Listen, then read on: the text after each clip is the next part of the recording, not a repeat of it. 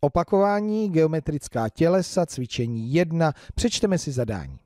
Ke každému obrázku napište název geometrického tělesa. Prohlížím si obrázek A a co vidím? Já vidím rajče. Čili z této nabídky mám vybrat název geometrického tělesa, který nejvíce rajče připomíná.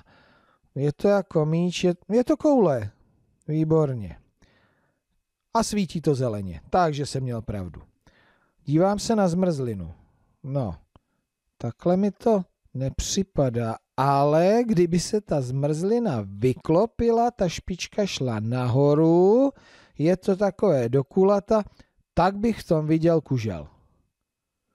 Ano, je to obrácený kužel.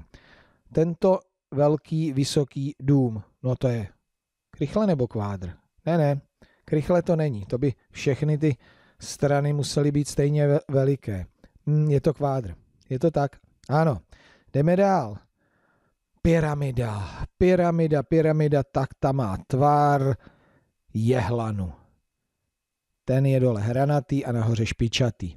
Odpadový koš, koš na odpadky. To je vlastně takový válec. Je to tak, svítí zelený. No a tady je klasická herní kostička, čili krychle. To mi baví, to se ještě podívám tady na interaktivní cvičení, co tady bude. Přesouvejte obrázky ke geometrickým tělesům, který obrázek připomíná. No tak tohle ještě k tomu zajímavé. Tak, vememe to paprika. Paprika, ta mi připomíná kužel. Mhm. Míč, koule, váleček na maso, na nudle. Válec, ta plechovka, no, tady by byla zavřená, tak by to byla taky válec. Kostička, krychle, pyramida. Tak to máme ten jehlán. Lego kostička.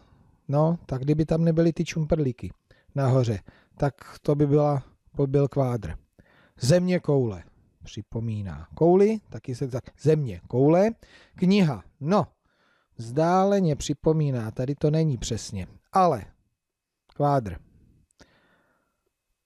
Tady ta krabice, co v ní je nějaký dárek, smašlí. Vypadá to, že je to rychle. Mhm.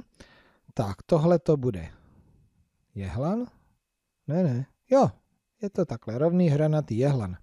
Dobře, no a tahle ta čepička, že by tam nebyly ty střepce, kulatý to je, tak to by mohlo být kužel. Výborně. Takže jsme si prošli geometrická tělesa a hledali jsme různé předměty kolem nás, která je, které je připomínají.